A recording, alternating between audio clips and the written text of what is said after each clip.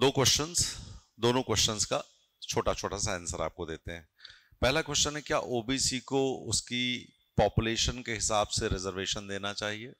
पहला क्वेश्चन और दूसरा क्वेश्चन है, क्या प्रमोशन में रिजर्वेशन होना चाहिए? ये दो प्रश्न हैं हमारे, और जो बड़े इंपॉर्टेंट प्रश्न हैं। ओबीसी की पॉपुलेशन जब पिछली बार पता लगी थी अपने को, तब 52 परसेंट थी। क्लियर और अभी जो सेंट्रल गवर्नमेंट का रिजर्वेशन पॉलिसी है, उसमें वो 27 परसेंट उनको दिया जाता है। दिया जाता है।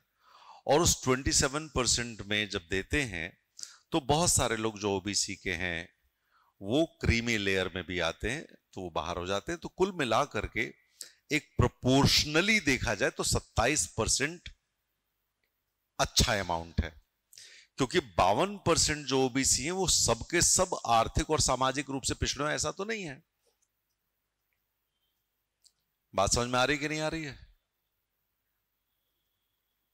तो यदि हम 27 परसेंट दे रहे हैं तो ये 27 परसेंट उचित है। लेकिन यदि वो आर्थिक और सामाजिक रूप से पिछड़े तो हम बढ़ा भी सकते हैं। लेकिन बढ़ाने का नुकसान ये है कि क्या हम मेरिट के साथ अन्याय नहीं करेंगे? क्योंकि किसी एक व्यक्ति को यदि हम सिर्फ़ इस आधार पर रिजर्वेशन दे दें कि उसकी जनसंख्या ज़्यादा है तो देश के विकास पर क्या प्रभाव पड़ेगा? इसका भी मूल्यांकन किया जाना चाहिए। इस मूल्यांकन की भी आवश्यकता है। दूसरी बात हमको ये भी पता है कि ओबीसी में वो लोग जो सरकारी नौकरियों में हैं या बड़े बिजनेसमैन हैं, उनका तो क्रीमी लेयर सर्टिफिकेट बनना ही बनना हो जाता है कि वो बन जाता है उनका सर्टिफिकेट वो क्रीमी लेयर में है। लेकिन जो ऐसे भी लोग हैं जिनकी खेती है, जिनकी इनकम ज़्यादा है लेकिन औपचारिक रूप से वो घोषित नहीं करते हैं तो ये लोग अपना सर्टिफिकेट बनवा लेते हैं नॉन क्रीमी लेयर का। और ऐसे में जो सबसे बड़ी समस्या आती, वो ये आती है कि ओबीसी के लोगों को भी जो वास्तव में हितग्राही होने चाहिए,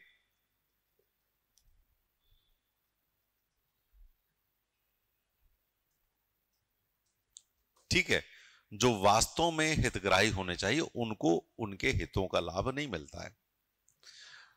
तो हमारा ये कहना है कि पॉपुलेशन के आधार पर जब भी हम, क्योंकि पॉपुलेशन बड़ी होगी ओबीसी की, इसमें कोई कहने वाली बात नहीं है तो हमको इसका भी मूल्यांकन करना पड़ेगा कि कितने प्रतिशत लोग, यदि वो बावन परसेंट है, सत्तर परसेंट है तो कितने परसेंट लोग नॉन क्रीमी लेयर में है, उतने परसेंट को रिजर्वेशन का लाभ मिलना चाहिए। परसेंट के हिसाब से हमको देखना पड़ेगा। दूसरा मुद्दा, जो बहुत बड़ा मुद्दा मुझे देखने लगा है, कि जो रिजर्वेशन का लाभ मिलता है, ये कहाँ मिलता है? ये मिलता है सरकारी स्कूलों में, सरकारी यूनिवर्सिटीज में, या एजुकेशनल इंस्टीट्यूशंस में हम कहें ओवरऑल उसमें मिलता है। यदि हम नौकरी के लिहाज से बात करें या उद्यमिता के लिहाज से बात करें तो कितने प्रतिशत सरकारी नौकरियाँ हैं? बहुत कम प्रतिशत है। है ना, बहुत कम प्रतिशत? तो कई बार हमें ऐसा भी लगता है कि आरक्षण के आधार पर ये ऐसी नीतियाँ हो जाती हैं कि बैकवर्ड को बैकवर्ड बनाए रखने की राजनीति तो नहीं कहीं ये जो पिछले अंग्रेज़ों के जमाने से चली आ रही है। कि पिछड़ों को पिछड़ा ही बना के रखो, उनको लगेगा हमारा सिलेक्शन हो जाएगा, हमारा कम नंबर में हो जाएगा, और वो उतने अच्छे ढंग से नहीं पढ़ेंगे। सरकारी नौकरी में नहीं आएँगे तो उनको लगेगा कि यार हम तो उस लायक नहीं है तो प्राइवेट जॉब में वो कॉम्प्रोमाइज करेंगे। अपना उद्यम नहीं शुरू करेंगे। कितने सारे नुकसान हो रहे हैं। तो इस छोटी सी जो microscopic openings of government jobs हैं, उसके लिए इतना बड़ा सेक्रीफाइस करने की ज़रूरत नहीं है हमको। नहीं लग रहा है? दिखता है कि भाई ओबीसी का बच्चा जनरल में निकल रहा है। दिख रहा है ना हमको? लड़कियाँ जनरल में टॉप कर रही हैं। कर रही है? S C S T general में निकल रहे हैं। लेकिन ये कम संख्या है। बहुसंख्यक ऐसे हैं जो कि नीचे में निकलते हैं। तो कहीं ना कहीं कॉम्प्रोमाइज हो रहा है। यानी वो पढ़ाई में कमज़ोर नहीं है, क्योंकि उतने नंबर भी लाने का मतलब पढ़ाई में ठीक है। लेकिन क्या हो रहा है? वो कॉम्प्रोमाइज कर रहे हैं, वो इतनी मेहनत नहीं कर रहे हैं। तो मेरा ये मानना है कि हमको रिजर्वेशन पॉलिसी को थोड़ा सा एक बार रीअलाइन करने की ज़रूरत है रिवैल्युएट करने की ज़रूरत है रिव्यू करने की ज़रूरत है, और इसको बेहतर बनाने की ज़रूरत है। और यदि ऐसा नहीं होगा तो जो हमारे यहाँ के मेरिटोरियस स्टूडेंट्स हैं आंट्रप्रन्योर्स हैं वो क्या होगा? फ़्लाइट ऑफ़ कैपिटल होगी और फ़्लाइट फ्रॉम इंडिया होगा। तो वो इंडिया में रहेंगे क्यों? होगा ऐसा कि नहीं होगा? यदि कोई व्यक्ति ऐसा हो, जिसका जो सुपीरियर हो, वो उससे कमज़ोर हो इंटेलेक्चुअली तो उसके अंडर में काम करते समय परेशानी होगी कि नहीं होगी? होगी ना परेशानी? तो इसलिए हमको रिजर्वेशन पॉलिसी को रिव्यू करने की भी ज़रूरत है। अब बात आती है प्रमोशन में, रिजर्वेशन। रिजर्वेशन क्यों दिया गया?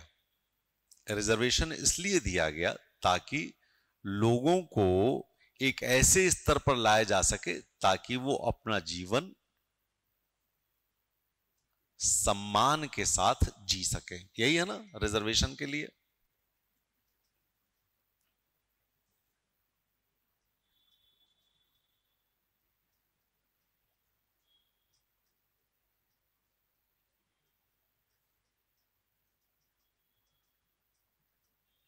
है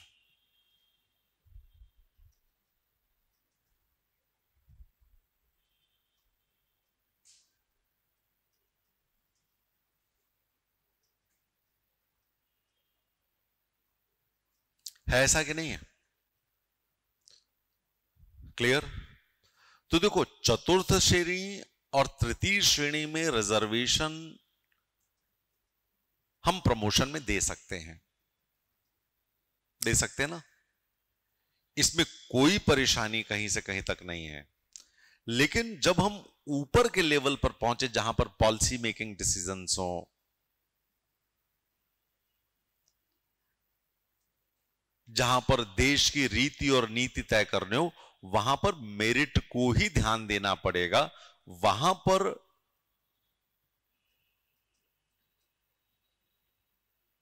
रिजर्वेशन प्रमोशन में नहीं देना चाहिए। समझ गए कि नहीं समझ गए? हम ये कहते हैं, यदि zero point zero zero zero one percent भी कमी है तो भी देश के लिए बहुत लंबे समय पर लंबी कमी हो जाएगी। हो जाएगी कि नहीं हो जाएगी? इसलिए मेरा कहना है कि निम्न स्तर पर प्रमोशन देना चाहिए, ताकि वो और बेहतर कर सके, अपने बच्चों को पढ़ा सके। लेकिन ऊपर चलने के बाद उच्च स्तर पर सिर्फ़ और सिर्फ़ मेरिट ही होनी चाहिए। प्रमोशन में रिजर्वेशन फिर नहीं होना चाहिए। ये बात हमको ध्यान रखनी है। ठीक है? और कोई प्रश्न?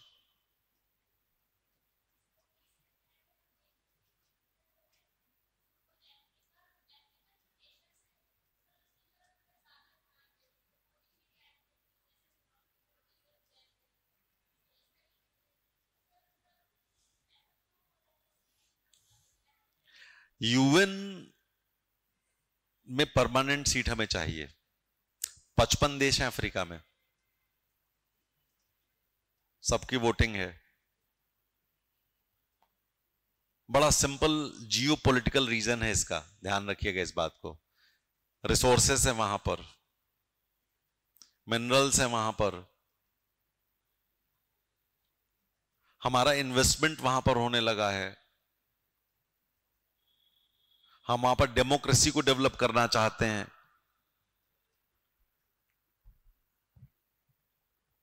तो ये एक रेसिप्रोकल रिलेशनशिप मेंटेन हो रहा है अफ्रीका के साथ, पूरे अफ्रीका के सारे देशों के साथ।